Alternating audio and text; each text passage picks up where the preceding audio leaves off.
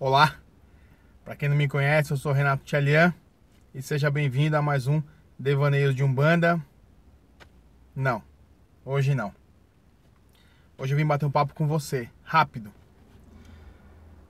Eu vim aqui falar para você que você simplesmente não tem o direito de desistir do teu sonho, de abrir mão do teu sonho, por mais difícil que ele pareça, por mais longe que ele pareça estar, por mais impossível que possa parecer. Não desiste. Vai para cima.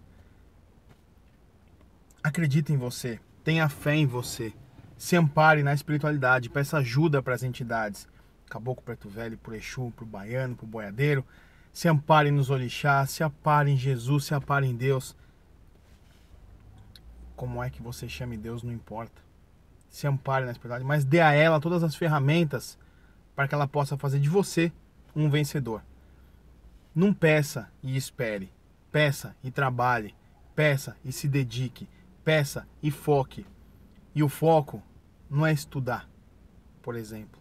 O foco é estudar e abrir mão de coisas por esse estudo.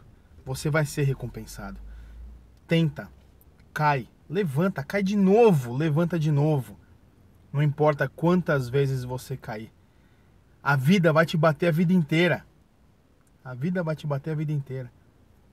Não importa o quanto ela te bata, importa o quanto você aguente. Olha só.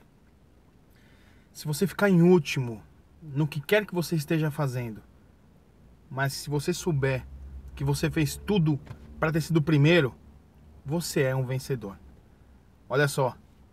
Eu vim aqui nesse domingão de sol para te falar o seguinte: eu acredito em você, de olho fechado. Por que então você duvida de você? Vai para cima. Você merece. Você é guerreiro, batalhador.